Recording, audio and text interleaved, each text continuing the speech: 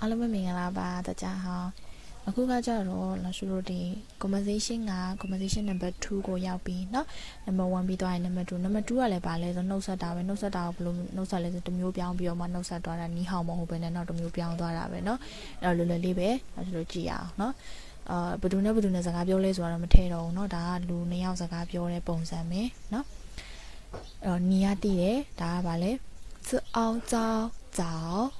ဇောင်းနော်အဲ့တော့ဒီမှာနံပါတ်3နံပါတ်3ဆိုတော့နံပါတ်2နံပါတ်3အတန်းဖတ်မယ်နီးဇောင်း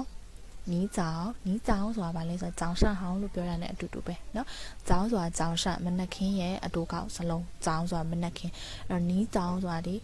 good morning လို့ပြောတာ ਨੇ အတူတူပဲ good morning ကအပြည့်စုံပြောမယ်ဆိုလို့ရှိရင်တော့ကြောင်ရှန့်ဟောင်းပေါ့เนาะကြောင်ရှန့်ဟောင်းလို့ပြောလို့ရတယ်ဒါပေမဲ့ ဒီမှာကျတော့တဆင့်ချင်းသွားဖြစ်တော့ဒါကြောင့်မို့ဒီလိုမျိုးလွယ်လွယ်လေးတွေကနေစပြီးတော့သွားမယ်เนาะနီးကြောင်မင်္ဂလာနံခင်းပါเนาะဟုတ်ပြီနော်နီးကြောင်လို့အတုံးနှုတ်ဆက်လို့ရတယ်နော်အဲ့ဒီဘက်ကတယောက်ကနှုတ်ဆက်လိုက်တယ်နီးကြောင်အဲနောက်တယောက်ကနှုတ်ဆက်မယ်နီးကြောင်သူကလည်းပြန်နှုတ်ဆက်တာဟုတ်ပြီနော်နီးဟောင်လို့ပြောလို့ရတယ်အဲဒါပေမဲ့မနက်ခင်းမှတွေ့ရင်နီးကြောင်လို့ခွဲပြီးပြောလို့ရတယ်နော်အဲနောက်တစ်ခုနီး 呃，你要对比哒，那是嗯声声，特一提提身体，好比那第一要拍的对嘛？你好吗？第一拍的对，好对不啦？你好吗？你讲啦，好比那，对嘛？身体身体啥看哪个表啦？你身体好吗အဲ့ဒါမှကိုယ့်ရဲ့ခန္ဓာကိုယ်နေကောင်းလားဆိုတာမေးတာเนาะနီးဟောင်မဆိုတာじゃခန္ဓာကိုယ်တွေမဟုတ်ရုပ်ရောစိတ်ရောစီးပွားရေးကိစ္စအစအစရရအဆင်ပြေရလားဒီရက်ပိုင်းအဆင်ပြေလားနေကောင်းလားတချို့ဆိုသိရမလားလူကတော့ကောင်းတယ်ဒါပေမဲ့စိတ်ကမကောင်းပတ်သက်မရှိလို့ဟုတ်တယ်เนาะစီးပွားရေးအဆင်မပြေလို့အဲ့လိုမျိုးပြောတာဒါကကြတော့မဟုတ်ဘူးဒီကိုယ့်ရဲ့ကျန်းမာရေးကိုမေးတာ你身体好吗အဲမင်းနေကောင်းလားဟုတ်ပြီနော်你身体身体ကခန္ဓာကိုယ်ဟုတ်ပြီနော်你身体好吗 အဲနေကောင်းလားနော်အဲ့တော့ပြန်ဖြေမယ်ဟန်ဟောင်းကောင်းပါတယ်ဒါအတူတူပဲเนาะအရင် conversation နဲ့အတူတူပဲဟောဒီမှာကြည့်ရှီရဲ့ရှေရှေရှီရဲ့ရှေရှေရှေရှေရှေရှေရှေရှေဆိုကောင်းပါတယ်အာ sorry ကျေးဇူးတင်ပါတယ်လို့ပြောတာเนาะဟန်ဟောင်းကကောင်းပါတယ်ရှေရှေဆိုကျေးဇူးတင်ပါတယ်ရှေရှေမဟုတ်ဘူးเนาะ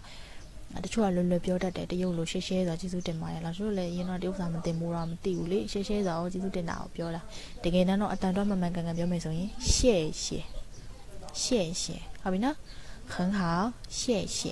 ကြမယ်နော်အဲ့တော့ conversation 2အနေနဲ့ကဒါလေးပဲဒါလေးလေးချောင်းပဲနော်အဲ့တော့ကျွန်တော်ဖတ်ကြည့်ရအောင်